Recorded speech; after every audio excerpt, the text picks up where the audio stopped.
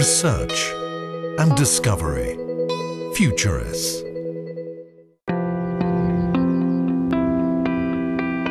Strangford Lough in County Down, Northern Ireland, the largest inlet in the British Isles.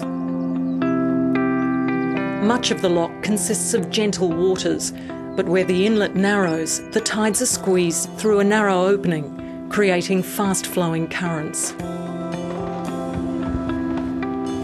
Strangford Narrows was recognised as an ideal location for a tidal generator, a technology that at the time was only partially proven and had no commercial application. Angela Rowbottom, Marine Current Turbines Director of Engineering, was brought in to take the idea from paper to reality. The job of building the 1,000 tonne structure was given to a Belfast shipyard. Seagen left the shipyard on March the 30th and began its journey to Strangford Lough aboard a heavy lift crane barge. In early April, it was placed in position and the job of securing it to the seafloor was begun.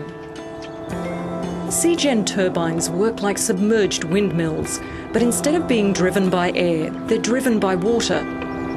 They can be installed in the sea at places with high tidal current velocities or in places with fast enough continuous ocean currents.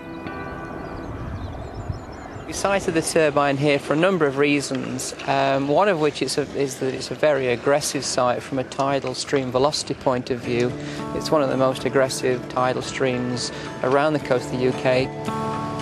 When fully operational, Seagen's twin rotors will operate for up to 20 hours per day, producing electricity both on ebb and flood tides it will produce four times more electricity than any tidal stream project currently in operation.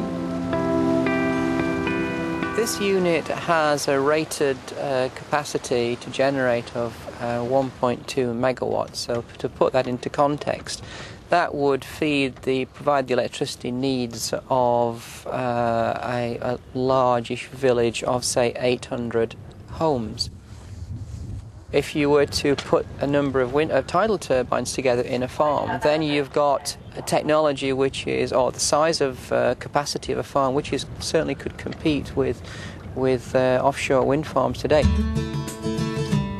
But Seagen is not only required to produce commercial amounts of electricity, it needs to do it without impacting the environment. Strangford Lough is a conservation area, home to many bird and animal species. While Seagen's footprint above the surface of the loch is minor, environmentalists are concerned that its massive 16 metre rotors operating beneath the surface could represent a hazard to curious species like seals. The main species or uh, animals that are interest here are the common seal, or the harbour seal as it's sometimes called, and also the benthos. That is the animals that live on the seabed itself. Those, those two areas, but particularly the common seal, because we know that the common seal population in the whole of Western Europe is declining quite significantly, and obviously that has to be, that species has to be really at the top of the list of concern. Graham Savage has lived and worked by the loch for many years. He acknowledges that compromises must be reached between conservationists and renewable power companies.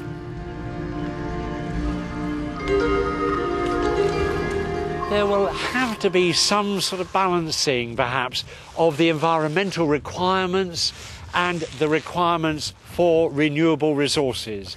Obviously, that then becomes a political issue how much emphasis you put on the environment versus the need to generate power cheaply and also at an ecologically friendly uh, level. But it isn't only tidal currents that provide the potential for energy from the sea. There are also the waves. The Pelamis Wave Energy Converter is one system designed to use the energy of the waves to produce electrical power. It consists of a series of semi-submerged cylindrical sections linked by hinged joints. Three Pelamis devices are soon to be deployed in Portugal in the world's first commercial wave farm.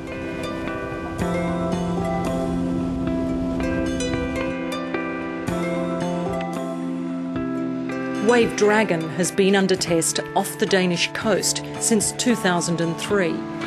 Its trials now completed, the company says it will be ready with a commercial demonstrator next year. Wave Dragon's inventor acknowledges that wave energy has been slow to develop.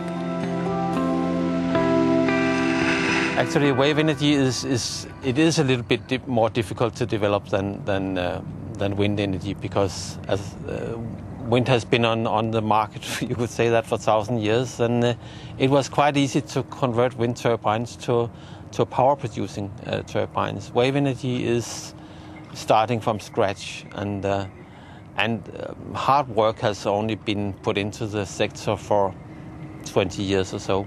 So uh, we need 10 more years to to compete with uh, with wind turbines. Wave Dragon's chairman, Hans Christian Sorensen, says wave energy offers enormous potential. As ocean energy waves uh, can be harvested along the western coast of Europe, the western coast of the state, and Chile, and Australia, and New Zealand, you have a huge amount of people just very close to the energy source, which means that you can use wave energy locally and you can cover more than half of all electricity demand in the world by simple deployment of uh, wave energy. In fact, you can harvest much more than that if you go more offshore, but then of course the grid connection will be more uh, expensive.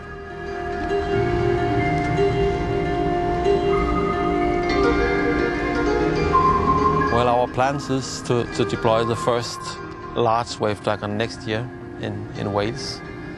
And uh, it would be nominal around 7 megawatts, so it's, it's quite a big plant.